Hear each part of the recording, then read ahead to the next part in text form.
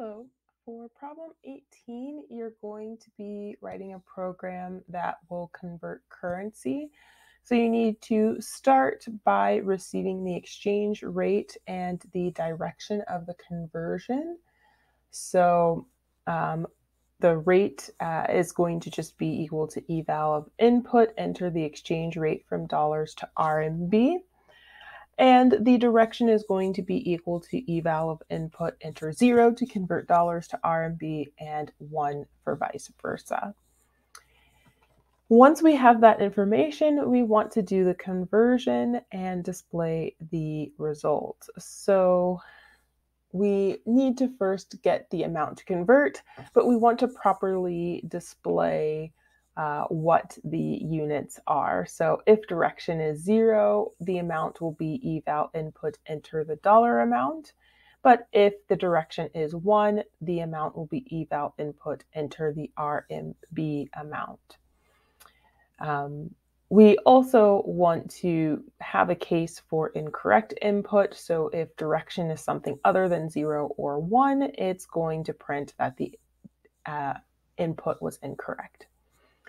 Once we have our amount, we just need to then print the converted amount. So if we're converting from dollars to RMB, then we would print dollar sign round amount is round amount times rate yuan.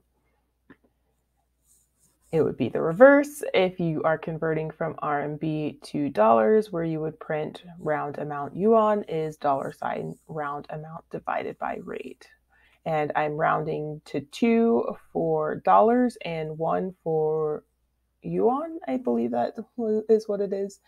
Um, and that is just based off of the sample runs that were given in the textbook. So let's try a couple of options here. Um, entering the exchange rate from dollars to RMB. I don't have the textbook open here, so I'm just going to make something up. I'm going to say 2.3. Um, we'll start by converting dollars to RMB and we'll convert $10. So $10 is 23 yuan in this case.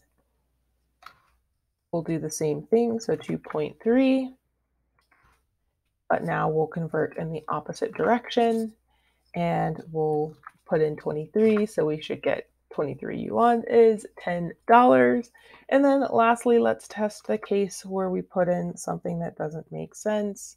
So I'll still use 2.3, but let's say we put in 7 for the direction, and it does indeed tell us incorrect input.